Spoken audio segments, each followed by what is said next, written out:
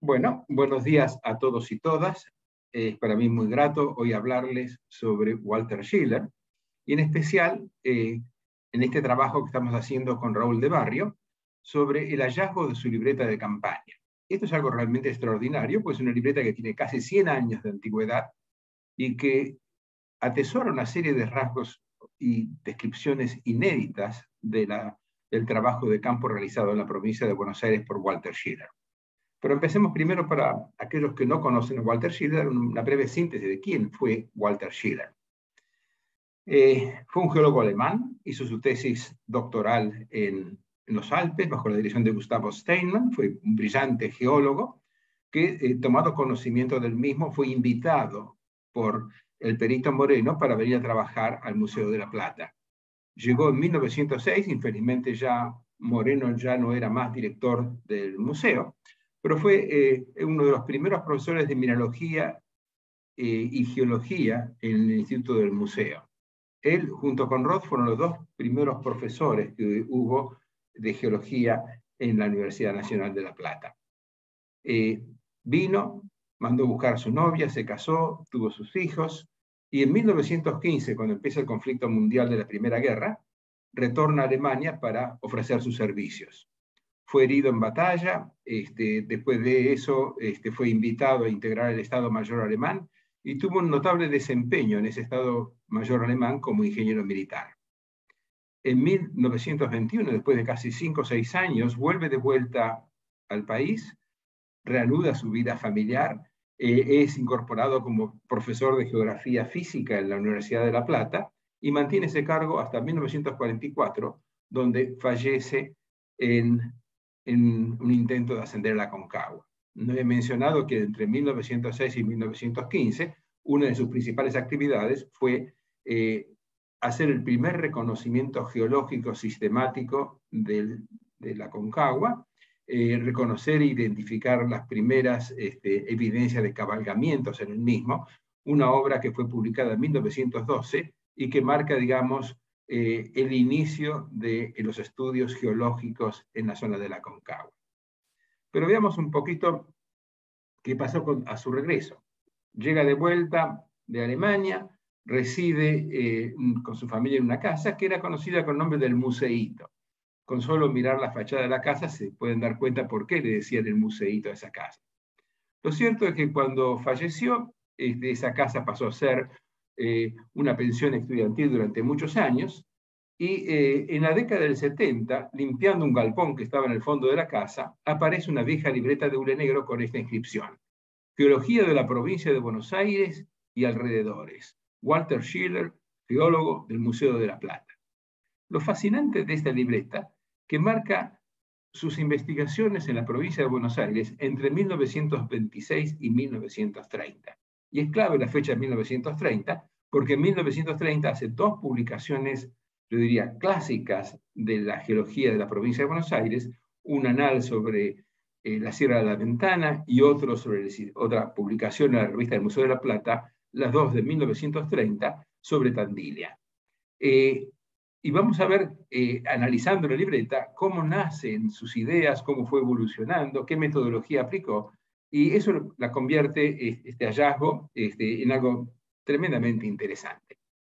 Eh, nos permite ver eh, y analizar qué metodología aplicaba para sus estudios geológicos.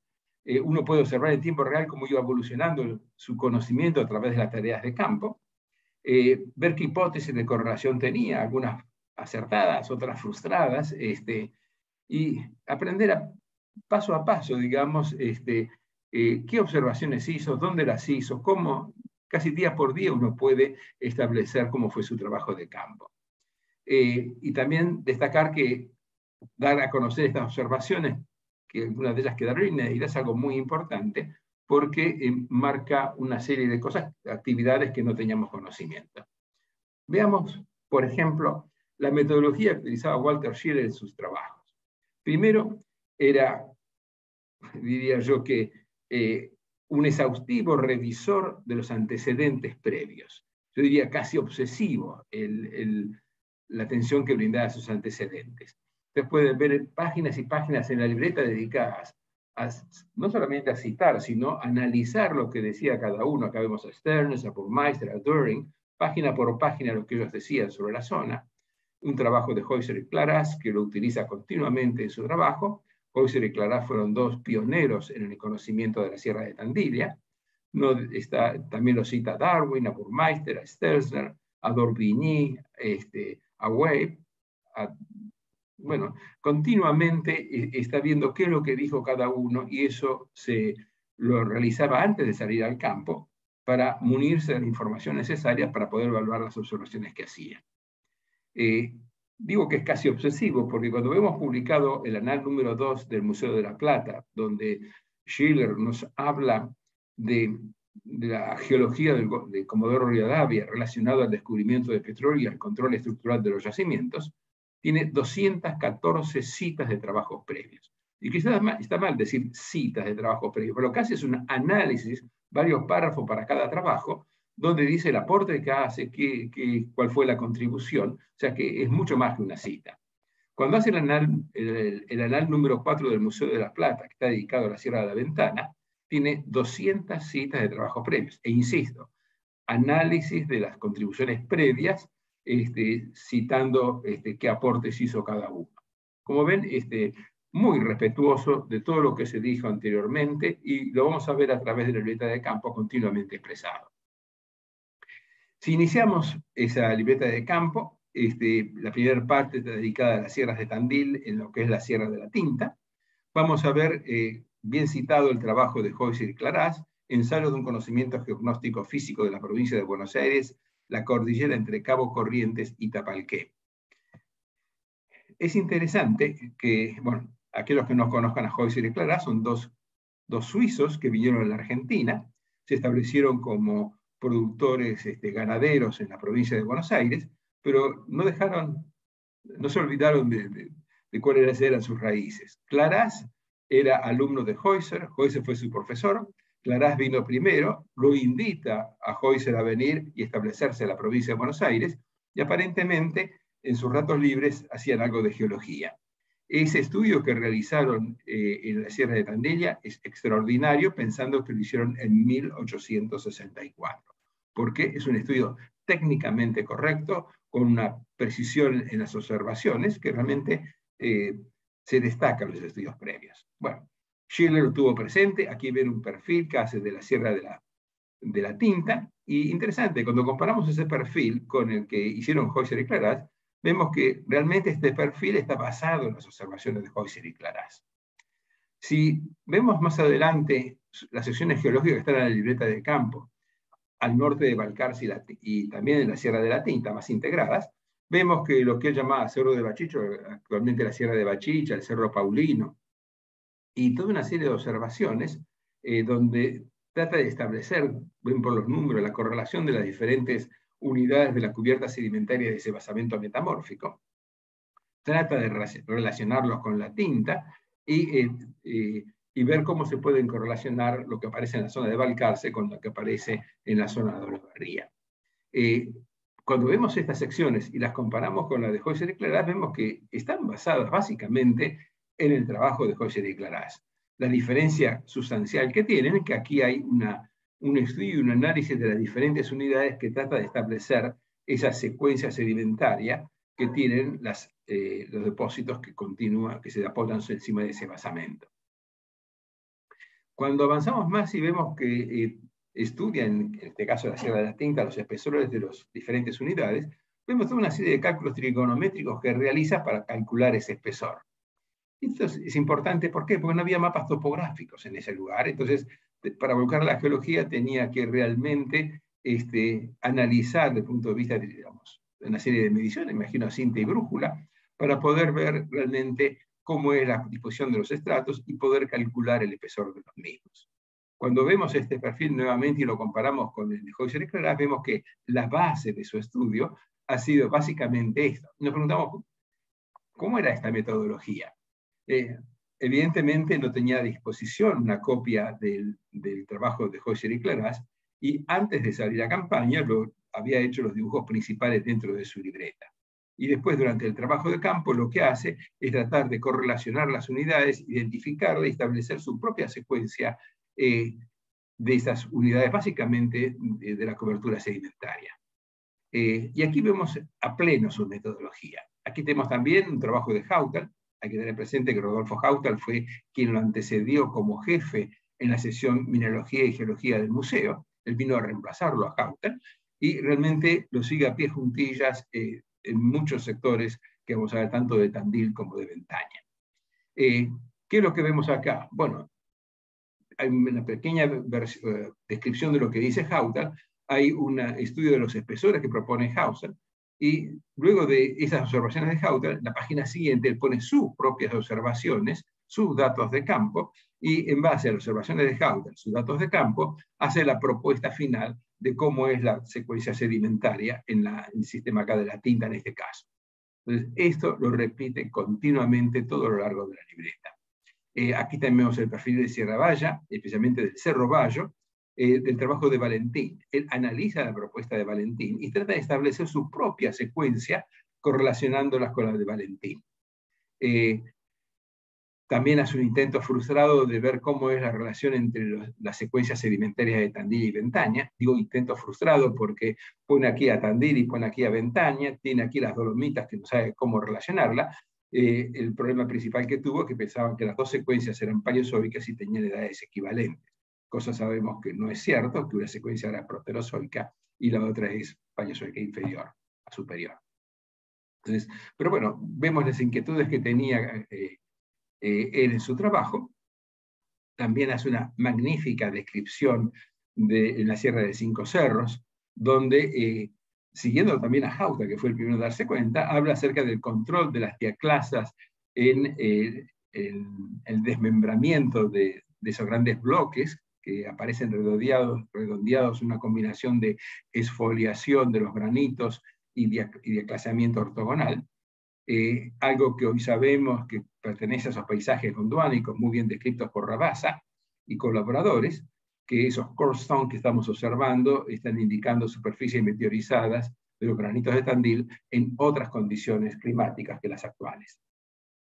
Entonces, eh, no hay nada que no, pase desapercibido, yo diría, en las observaciones de Shida.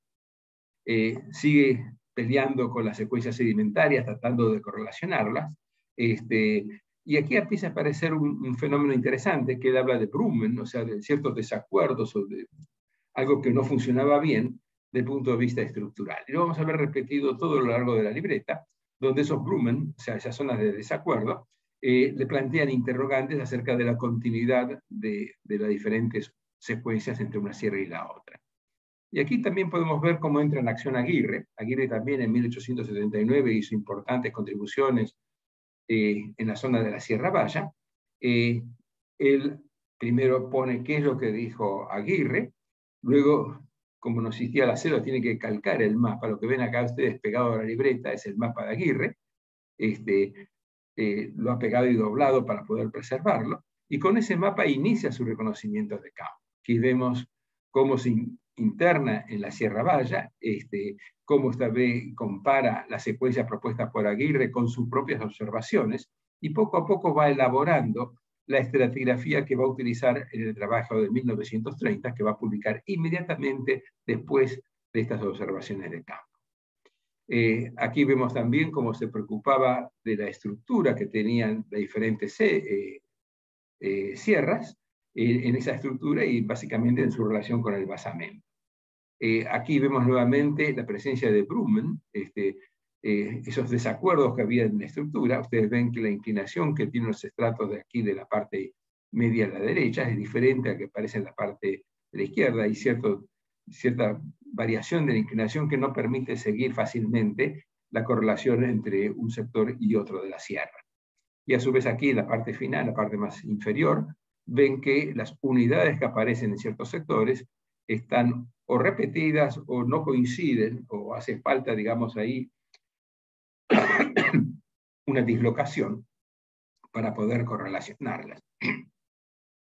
Eh, también presta mucha atención a deformaciones que se ven tanto en las dolomitas como en las calizas de eh, la Sierra Valle y alrededores, Ustedes pueden ver aquí en las Dolomitas una serie de formación interna que destaca y le llama la atención porque arriba está horizontal, abajo está horizontal, y hay sectores donde se concentra esa deformación.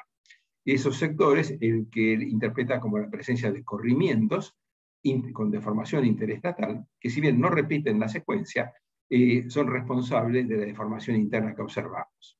Lo mismo ocurre aquí en estas calizas, donde vemos que eh, hay un despegue, y en ese despegue hay una especie de inyección de material más plástico en las charnelas de los anticlinales. Eh, continuamente está haciendo observaciones estructurales, ve la intensa deformación que presentan estas, esta cobertura sedimentaria, y poco a poco trata de integrar lo que pasa en el basamento y la cobertura sedimentaria con las secuencias eh, cretácico-cenozoicas que están al norte de la provincia. Y aquí ustedes ven que distingue un basamento que se llama paleozoico, en realidad sabemos ahora que es arca, es, precámbrico, eh, de areniscas rojas cretácicas, del terciario marino, del terciario continental y del pampeano. Eh, cuando vemos este perfil, llama la atención que es casi exactamente igual al perfil publicado por Valentín en 1895 y reproducido por Latzinia en su GEA, este, donde establece las relaciones entre Corrientes, Santa Fe, norte de Buenos Aires, o La Barría y Sierra Ventana. Vemos que es exactamente el perfil que ha copiado. Y no es que, eh, digamos, él aclara aquí que el perfil es de Valentín, que está publicado en la sección de GEA del Diccionario Geográfico de Latzinia, o sea que eh, eh, reconoce y, vamos, que esto está sacado de otro lado. Pero lo que es interesante es que esto marca su preocupación para tratar de entender cómo sería el relleno de la provincia de Buenos Aires. Y ustedes ven que la ciña, en este caso, marca una transición casi continua entre el Cenozoico de, eh, con respecto al Paleozoico desde la Barría hacia Corrientes o Santa Fe. Lo interesante es que él analiza las diferentes unidades cenozoicas que hay básicamente en el norte de la provincia de Buenos Aires y en la zona del Paraná, y lo hace básicamente eh, utilizando las unidades reconocidas por Santiago Roth y, también complementadas por las observaciones de D'Orbigny. Eh, presta especial atención a las observaciones pampeanas de Narciso Parchape. Parchape fue un, agrimensor francés, dado que D'Orbigny no pudo atravesar la provincia de La Pampa, utiliza eh, las observaciones en el interior de la provincia de Buenos Aires realizadas por Barchap para complementar eh, su trabajo sobre eh, las secuencias cenozoicas que aparecen en la provincia de Buenos Aires de. Aquí vemos su preocupación de tratar de entender en cada, la evolución a lo largo de las barrancas del Paraná, tanto al norte como al sur del río. Este, vemos perfiles en la zona de Entre Ríos en La Paz, en San Antonio, en la zona de las Curtiembres, en la zona del Cerrito, y cómo esa secuencia sedimentaria las continúa este, a través de la ciudad de Paraná hasta este, el arroyo Ensenada, y trata de integrar un marco general este, de cómo es esa evolución. O sea, su preocupación de ver cómo es las secuencias en Diamante o en Victoria y tratar de ver cómo podría correlacionarlas con de la Pampia, con la región pampeana, le llega a hacer una interesante propuesta. Por lo pronto ustedes pueden ver aquí que el arcaico de, Martín García eh, aparece, de acuerdo a su interpretación, por debajo de la Sierra de Tandil. Y les llamo la atención sobre este, este rasgo que ustedes ven acá. Eh, eh, este rasgo, digamos, está correlacionado con Martín García. Como no conocía a Martín García y sí conocía el basamento de la Sierra de Tandil, visita a Martín García. Antes de visitar Martín García, analiza detalladamente los trabajos previos, como lo hace siempre, cada una de las personas que lo opinó, después va a la isla y hace sus propias observaciones del basamento de la isla Martín García. Y aquí viene su propuesta final. Es el primero en reconocer que no hay una transición entre los depósitos cenozoicos y la Sierra de Tandil, sino que hay un grumen, una gran dislocación que separa las secuencias cenozoicas de ese basamento. Esta es la primera vez que vemos ilustrado una falla que limita la cuenca del Salado del resto del sur, de centro sur de la provincia de Buenos Aires. Y aquí ven cómo hace la correlación entre el arcaico de la Sierra de Tandil con el arcaico de Martín García. Este, aquí lo pone como este, erosionada la secuencia cenozoica que permite observar el alto del Martín García. Eh, esas preocupaciones que tuvo sobre las secuencias cenozoicas las vemos también aquí desarrolladas en la zona de Tapalqué, nuevamente correlacionando o comparando lo que había observado Heuser y Clarás en el Pampiano y Pospampiano de Tapalqué con eh, lo que él observa eh, en esa misma localidad. Esto lo lleva a recorrer la costa atlántica. Acá me olvidé de mencionar de que hay un mapa de Holberg que vamos a ver en pocos minutos, pegado también este, en su libreta de campaña, que le va a servir para orientarse en el trabajo posterior. Volviendo de vuelta a la zona de Tapalqué, él trata de relacionar ese cenozoico con el cenozoico que aflora en la costa. Y aquí vemos algo interesante. El primer mapa geológico de Mar del Plata, que ha permanecido inédito.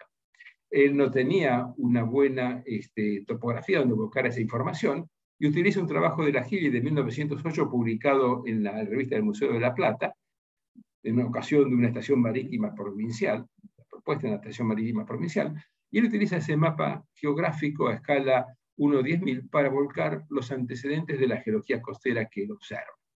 Eh, recorre la región, identifica la presencia de cuarcitas, no solamente las cuarcitas, sino las relaciones con las secuencias marinas que la cubren. Este, este sería el primer mapa geológico de Mar del Plata que ha quedado inédito en la libreta de Schiller.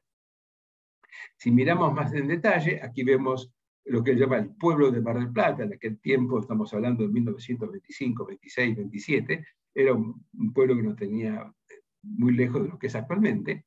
Describe las cuarcitas de la punta de la iglesia y de la punta de las piedras, junto con el de Cabo Corrientes, este, no solamente describe las cuarcitas, sino también las secuencias que están por encima de las cuarcitas.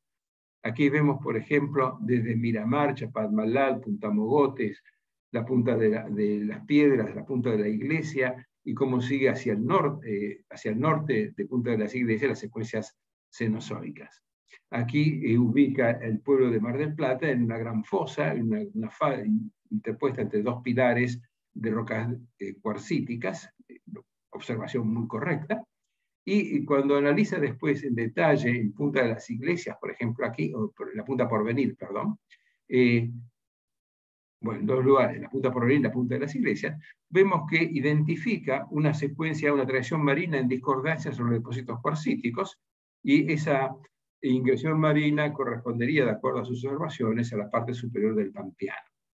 Este, estas observaciones han quedado inéditas, no las ha publicado en ningún otro lado, pero vemos que hay una continua preocupación por ese cenozoico, dado que compara el cenozoico que vio en los alrededores de Mar del Plata con el cenozoico que ve en La Plata, eh, en Ensenada y en la zona de Río Santiago.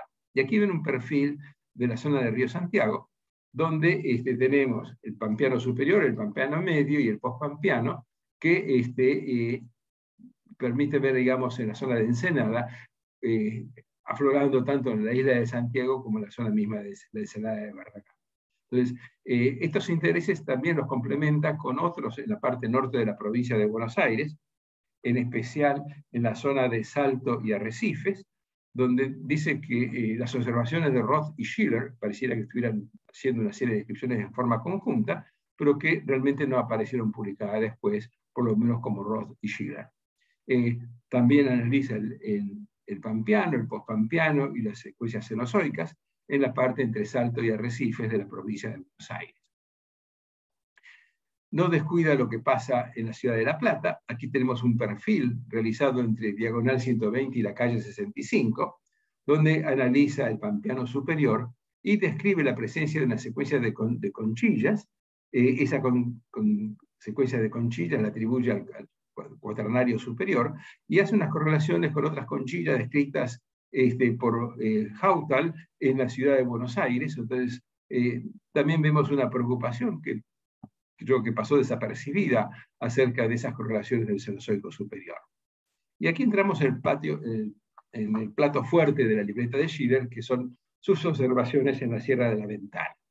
Eh, lo primero que hace es describir qué tipos de plegamiento aparecen. Aparece un plegamiento, él dice, controlado por, por fractura, que sería el plegamiento tipo chevron, de otro plegamiento mucho más plástico, con neta divergencia hacia el norte, tanto en un caso como en el otro, y también habla de que en algunos sectores se observa la fluencia plástica de del material más pelítico, más arcilloso, que engrosa la, charnela de los antiquinales. Y todo esto lo explica como una interacción o interrelación, o debido a la interrelación que hay entre areniscas y cuarcitas en este sector.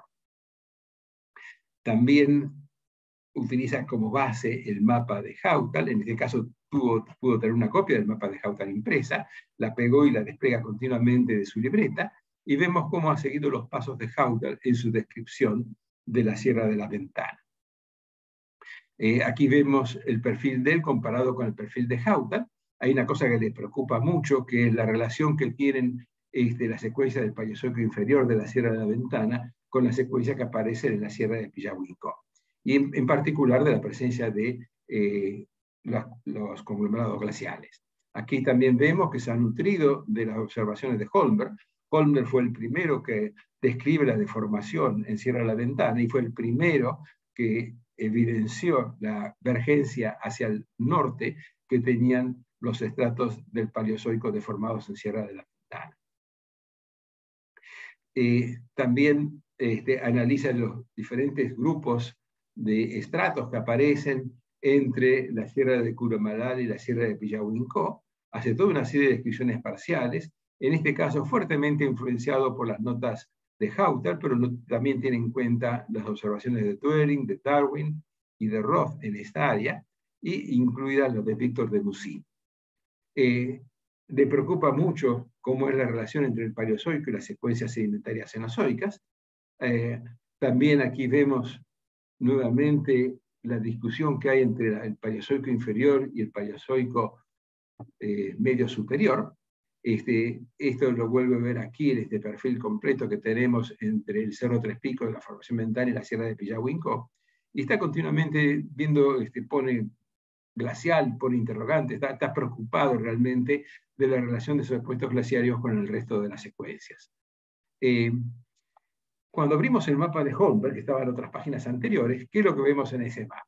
Un excelente eh, croquis de las sierras de la ventana, Insisto, la falta de topografía hizo que utilizara estos croquis para volcar sus propias observaciones día por día en cada uno de los sectores. No solamente en Sierra la Ventana, sino en los alrededores de Sierra la Ventana.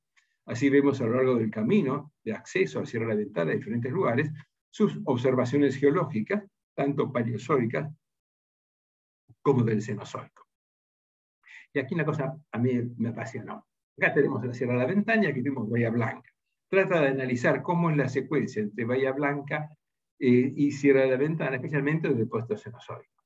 Los hace en la zona de Montermoso, lo hace en la zona de la ciudad de Bahía Blanca, lo hace en la zona de Punta Alta, eh, lo hace a lo largo del arroyo Napostá.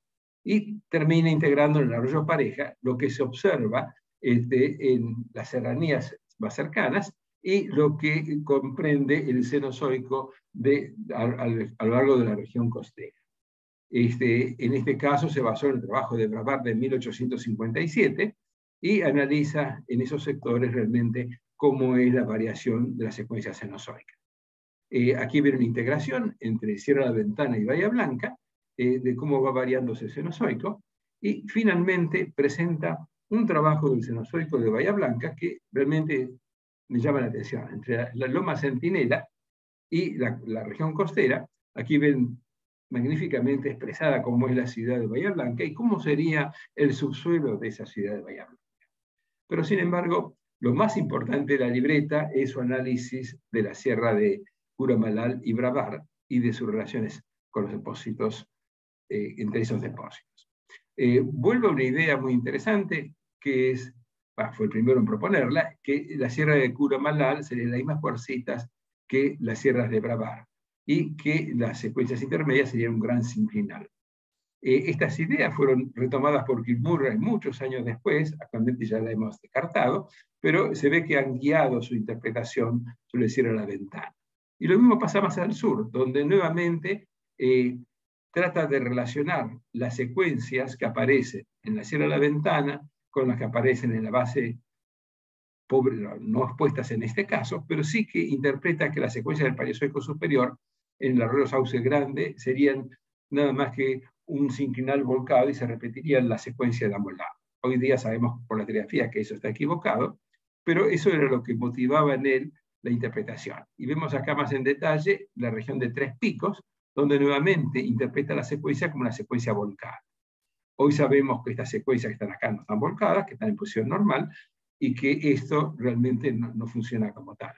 Pero estas preocupaciones estructurales lo llevaron a proponer eh, cómo era la estratigrafía de esa zona y cómo se volvía a repetir la secuencia del Paleozoico superior, hoy sabemos que erradamente, pero que le dieron, digamos, la semilla de sus consideraciones finales aparecen publicadas en 1930. Una en ese anal número 4 del Museo de la Plata, donde habla de investigaciones geológicas en, la Sierra de la Ventana, y otra eh, de las complicaciones tectónicas o cobijaduras en la Sierra de Tandil. De esta última hablaremos en el día de mañana, cuando hablemos en el simposio de, tectónica preandina, eh, analizaremos qué significado tenían esas cobijaduras y qué es lo que sabemos actualmente de ellas. Así que muchas gracias por la atención y básicamente lo que quería contar.